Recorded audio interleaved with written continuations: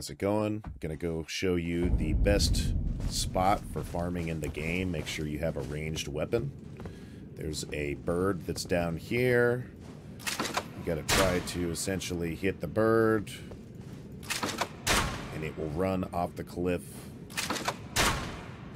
If you have an actual bow where you can aim, it's a little bit better, but I ran out of arrows. Next, you want to start off to the right, and I'll show you why here. These these red guys that try to do a spike roll attack. And if you start off to the right, and then kind of work your way over to the left, they'll do the spike roll attack off of the ledge. Just like so, roll forward whenever they attack, and do that roll attack. Give you some free runes by running off the ledge there. See, I didn't quite get that guy, but that's okay. These guys are pretty easy to kill. Let's go ahead and clear the rest of these guys out. There are faster ways to do this, but I have a dex build, so I have to do these guys one at a time. That didn't sound right. Giggity giggity. But ultimately, this is going to be yielding you quite a bit of runes. There's another instance here we could just pull this guy off to the side.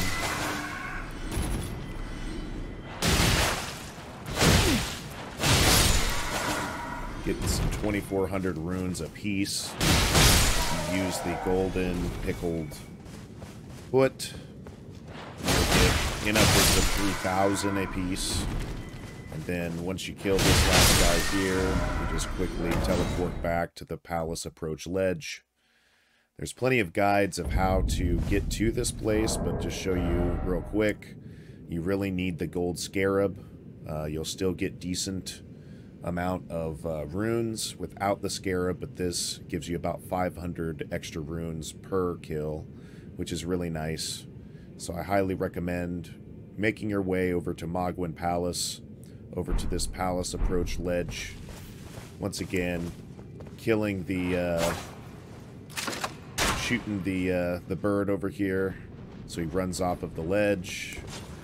Then starting off to the right for the aforementioned reason.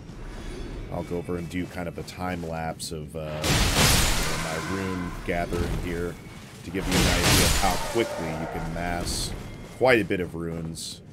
Um, I'm seeing you know, a lot of people are saying with the right weapon, you can actually get an upwards of 10 million runes an hour.